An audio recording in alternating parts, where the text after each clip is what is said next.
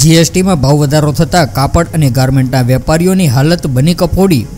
સરકાર દ્વારા ગાર્મેન્ટમાં પાંચ ટકાથી વધારીને બાર ટકા કરવામાં આવતા વેપારીઓની હાલત કફોડી બની છે. ગાર્મેન્ટ અને કાપડ એસોસિએશન દ્વારા બનાસકાંઠા જિલ્લાના કલેક્ટર તેમજ મુખ્યમંત્રી શ્રી ભૂપેન્દ્રભાઈ પટેલ પાસે જીએસટી વધારો પાછો ખેંચવા માટે માંગ કરી હતી. હાલના કોરોનાના સમયમાં ભારતની પ્રજા તથા ગુજરાતની પ્રજાને આર્થિક ભયંકર મંદી ધંધા રોજગાર ચાલતા ના હોય અને હાલના તબક્કે જીએસટીમાં વધારો કરવામાં આવ્યો, જેથી વેપારીઓ તથા ગરીબ પ્રજાની હાલત ખૂબ જ ખરાબ થઈ શકે તેમ છે. હાલના જીવનમાં જરૂરિયાત વસ્તુઓ જેવી કે રોટી, કપડાં ઓર મકાનની પૂર્તતા કરવા માટે હાલમાં ભારતની પ્રજાની હાલત નથી.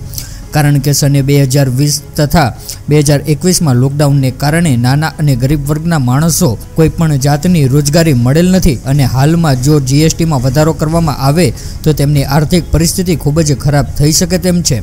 હાલમાં ધંધા રોજગાર પણ ખૂબ જ ઓછા છે. આમ ઉપરોક્ત મુદ્દાઓને ધ્યાને લઈને હાલમાં ઓમિક્રોન વાયરસ પણ બહુ જ ખતરનાક રીતે ભારત અને ગુજરાતના વિવિધ શહેરોમાં રોજ કેસો વધી રહ્યા છે. તેવા સંજોગોમાં જીએસટી વધારવામાં આવે તો ના છૂટકે વિહોણા થવાની ફરજ પડે તેમ છે. અમારી પાસે પરિસ્થિતિને ધ્યાનમાં રાખીને વેપારીઓ માટે વધારો રોકવામાં આવે તેવી વેપારી વર્ગ દ્વારા માંગ કરવામાં આવી હતી. Prahladbhai Joshi, DP news, Banaskantha. Nandlal Maheshwari, president readymade wholesale association Deesa.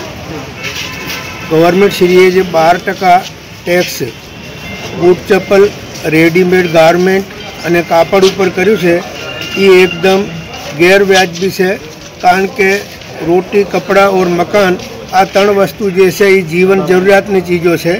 એને ઉપર અગર બાર ટકા ટેક્સ થાય તો ગરીબ માણસ સહન કરી શકે નહીં. એને વિરોધમાં અમે આ આવેદનપત્ર મામલેદારશ્રીને આપ્યું છે. સાહેબ તમને આ આવેદનપત્ર આપવા માટે કરી અને ડીસા મામલેદાર કચેરી તરફથી કોઈ પરમિશન કે લેખિતમાં મળ્યું ખરી? અમે પરમિશન મામલેદારશ્રીને મળીને પછી આવ્યા છીએ. લેખિતની અંદર પરમિશન મળી કરી તમને?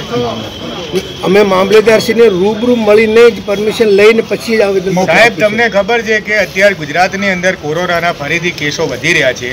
ઓમિક્રોન નામનો નવો વેરિયન્ટ આવી રહ્યો છે. આપ આટલો મોટો ટોળો લઈને વગર માસ્ક નીકળ્યા છો તો કંઈ પણ કોરોનાના કેસો દિશામાં વધ્યા તો જવાબદારી કોની?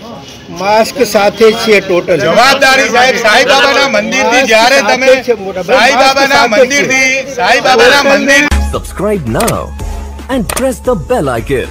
Never miss an update.